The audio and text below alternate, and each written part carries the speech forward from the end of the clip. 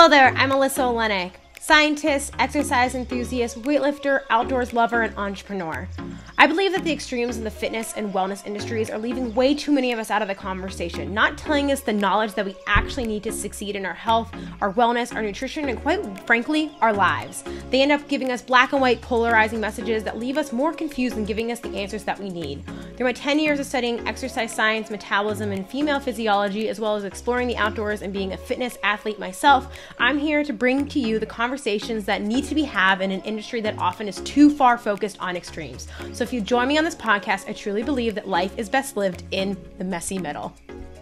Hello there, everyone, and welcome back to another episode of the Messy Middle Podcast X Doc Lyss Fitness YouTube. So, as always, if you're listening to this on podcast platform, if you want to go rate, review, subscribe on whatever you're listening to, and or head over to my YouTube channel to like, subscribe to my YouTube channel, like and comment my videos. It helps me. And if you're coming from YouTube and you want to go rate, review, subscribe because you enjoy this on a podcast platform, Again, it helps and supports me so I can continue to produce free, high quality educational content for you all here today. So, with that being said, today I want to talk to you about something that I think is a big, massive concern when it comes to hybrid training for individuals are either adding lifting to their running or running to their lifting. And so, what I'm talking about is the temporary decrease in performance that we see when we start engaging in hybrid or concurrent training that makes us believe that we are one, not able to hybrid train, two, hybrid training doesn't work, or three, we are losing fitness. And so, with this being said, it is perfectly normal that if you've been historically a lifter or historically a runner and you start adding in more training, that you're either going to see a decrease, slight performance in your individual workouts um, from the fatigue of that training, or a need to back off or do a little bit less. And we cover this in hybrid. This isn't something that I am hiding from you all or keeping from you all. This is a very real phenomenon because you only have so much volume you can handle and recover from, and or your body is spending a lot of effort trying to adapt to that new training stimulus. So for those of you who are new here and don't know what hybrid training is. It's essentially mixing together strength and or endurance in some form concurrently in the same training session, week, block, month, and it can be multiple forms of fitness combined together. Um, but this is really similar to how general athletes train and or the type of training that I take, CrossFit takes, um, a lot of my clients take really anything that's mixing modalities that isn't you're only doing Olympic lifting, you're only doing powerlifting, you're only doing running, and you're only doing rock climbing, you're only doing one thing. Um, concurrent hybrid training is just saying, hey, I'm going to mix these modes. And so there is benefit for lifters to do cardio and cardio people or runners to do lifting on top of that. Um, and you can do it in small degrees and have really no impact just for cross training for minimum effective dose benefits. But if you're trying to maximize both or get better at both or add both into your training, people see a slight decrease in performance following following the onset of that new training and they really think that that means they're doing something wrong. And I'm here to say that you're not doing anything wrong. This is normal. Again, your body can only recover from so much and your body needs to adapt to that new stressor or new stimulus, whether it's lifting or endurance based training. And so what you'll see is slight temporary decreases in your acute training performance, which really doesn't mean a loss of fitness. It just means due to fatigue from the hybrid type training, fatigue from the additional training, fatigue from the more volume, or the fatigue from the the novel stimulus because central nervous system fatigue from cardio or your lifting can affect one another.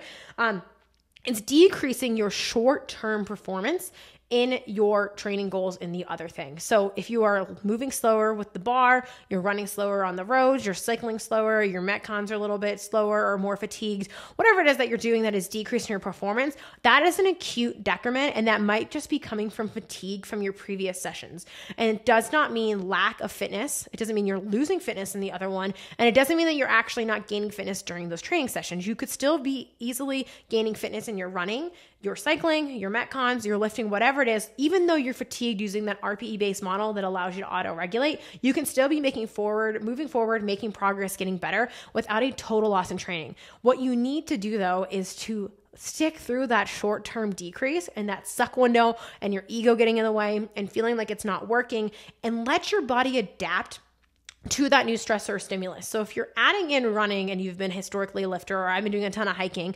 um, your lifting performance in the short term is going to kind of feel crappier and it's going to feel like you're not able to move as much weight. You have more fatigue, your RP is higher, the same loads and intensities, but you need to keep going. Same with my runners who add in lifting and they're a little bit more sore and more fatigued and they feel like it's killing their running performance. You need to keep going because what happens over time by doing both of these with increased training age, increased volume exposure, increased training, more progression, mixing the two is you will adapt. And so you have to let your body adapt to the one in order for you to kind of bounce back to the other. Because once you adapt to that training, because new training, novel training makes you more fatigued, it's going to make you more sore, it's going to feel hard on your body, it's going to increase and increase caloric demand in the short term, maybe not as much in the long term, but in general, again, listen to my uh, hybrid training mistakes podcast where I talk about food and carbs and all of that stuff.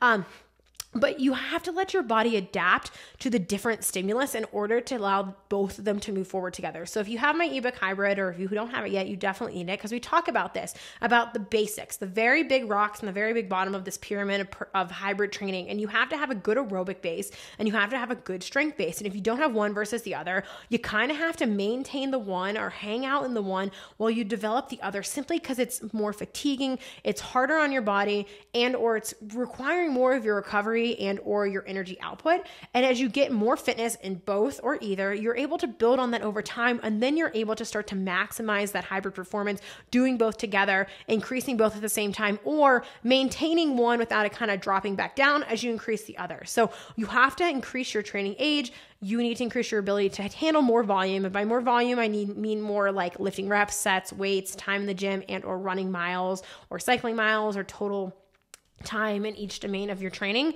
But that slight temporary decrease in your training doesn't mean that you're bad. So, what you need to do during that time is really utilize something like RPE during your training. Um, zones too can be really helpful to tell you where your fatigue is going with your running or endurance based training. And by using those things, you're able to kind of auto regulate your training. So you're still getting the appropriate stress and stimulus of that one training, even if it feels slightly more fatiguing or slightly more difficult or harder. It's going to be that way, but you can still make adaptations even if your acute short term performance is worse. I cannot stress that enough or reiterate that enough.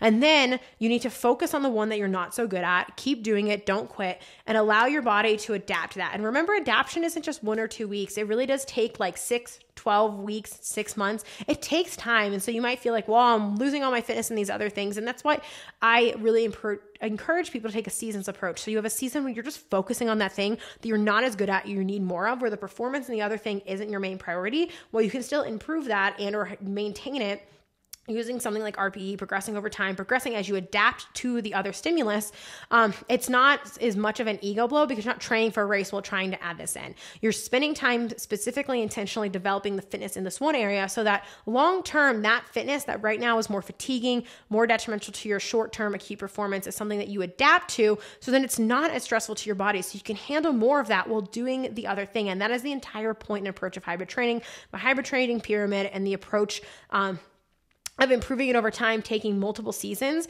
and improving things for long term gains rather than short term acute in gym performances. So, yeah, you might perform worse during these things, but that doesn't mean that you're performing worse long term and it doesn't mean you are, aren't adapting.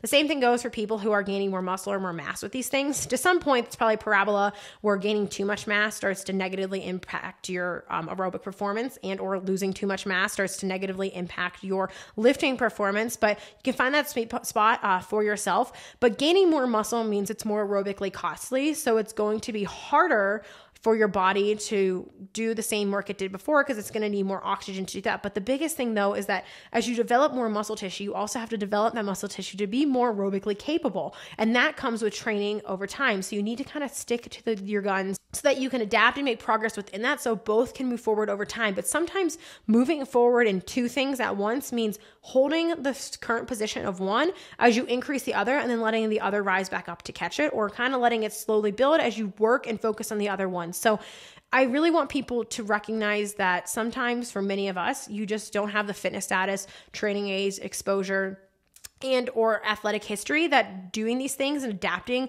and developing two different energy systems or approaches to training might be a little bit harder and may take more time versus someone who's kind of been a lifelong athlete been doing multiple things for years or has a really strong history in just running or just lifting or just one form of training versus the other. Because when you have a really strong history in something and a really good training age and a really good training history in that it's a lot easier to maintain that than it was to gain it. So gaining fitness is going to be harder than maintaining fitness. And this is why we see people who are doing this hybrid based training who had very impressive or serious lifting histories in past, me included, who can just start adding on running because at some point, yes, our lifting is being impaired, but we're able to maintain more of that higher ceiling for strength and potential or muscle development while adding in the cardiovascular training or running. Same with runners. As they start adding in lifting, it sometimes just benefits them and makes them better because they already had that time spent on that aerobic training component of their training. So if you have a long or stronger history in one versus the other, take the time to build the other one. But if you are my friends who are coming from really the ground up, you were not an athlete growing up, you're mostly sedentary, you don't have a strong training history in each, you really need to make sure that you're building both. You can build both at the same time, but you just can't handle as much. So you're going to need more recovery. So it might be worth your time to spend seasons going between one or the other or giving yourself grace as it takes slower and longer to build. It's kind of like bulking versus cutting or maintaining and recompositioning with dieting. Um, if we want to use that analogy, sometimes it's better to spend more time doing one or the other than trying to do both at once. But it doesn't mean you can't do both at once, especially if you're a beginner, right? Same thing, uh, where that stress it can be more potent than people who've been training for a really long time trying to do both at the same time. So it kind of does play into the classic exercise physiology approach. If you can't do two things at once, well, you can. You just have to be strategic, uh, program it appropriately, and take a recognition of where you're at in your training. But short term decreases in performance does not mean long term decreases in performance. And I cannot stress that enough. I think that's a common misconception with hybrid training. And it doesn't mean it's not working for you. It just means that you're fatigued. You need to eat more. You need to recover more. Or you really just need to let your body adapt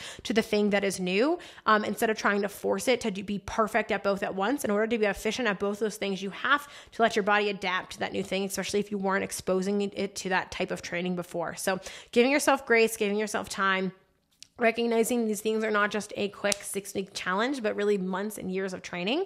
Um, and if you're struggling with this, my hybrid ebook, it is not a training program, it is an ebook, um, explains to you the science behind these things and how to combine your endurance training, your CrossFit training, your cycling, your running, whatever it is, with your resistance training in a way that makes sense for your current training level, your recovery needs, how much volume you can handle, the season that you're in, if you're training for a race, if you're in an off season, all of these things with like 70 examples um, so that you kind of know how to pair things appropriately for your own fitness level um, across the week and or just understanding and applying the science to make the most of these things so you can adapt over time. I like to call it my fishbowl theory where like your volume capacity increases. So you can do more of the both of the same thing or be better at both at the same time. But if you have less water you can only do so much with that versus more water. So the goal is to increase your water volume over time. Um, so with that being said we'll link hybrid in the show notes here. That's really helpful. As well as if you want two programs in the same place when it comes to running and lifting or lifting and conditioning already programmed to complement it that is the Lyss Method. So we do that for you. We program these things we give you a lifting program and or a running program that makes sense for you and your goals um, with multiple options to pick from so you can pair them together with some examples on how to do that. So depending on what you're looking for we have the things that can help you with that. But otherwise my friends give yourself patience give yourself grace give yourself kindness and don't shame yourself for temporary decreases in performance from fatigue across your whole training that do not indicate or necessarily mean you have decreased training across time. You might find that even training with RPE, even though it's lower weights, lower intensity, lower whatever it is, because you can't handle more, you might realize that once you taper or deload or whatever, and you go to test that fitness, you were still gaining it all along. You just had increased um, fatigue across time. This same phenomenon happens for my friends that are racing or training for a lifting meet or doing a big lifting block or whatever it is. You've experienced this before you have this increased fatigue towards the end of these blocks before a deload or a taper, and you feel like you've lost fitness, but it's just general fatigue from your training. But once you take that time off to recover, you realize that you've actually been developing fitness all along. So Keep that in mind when you're doing your hybrid training. You're not necessarily losing fitness in the short term. You are gaining fitness in the long term, but you might have slightly decreased training in the gym. So it's important to leave our egos at the door when we are doing these things. So I hope you enjoy this episode of the Messy Middle Podcast, X Doc Lyss Fitness YouTube. Again, subscribe, like, comment, all of the things, rate, review helps so much. Um, I hope you learned something today, and I hope you feel like you can give yourself more grace or not freak out when you feel like you're losing fitness. You aren't losing fitness, you just need more time. And I think that kind of message applies to everything. You just need more time. So, thank you so much for being here. I hope you learned something, and I will catch you on the next one.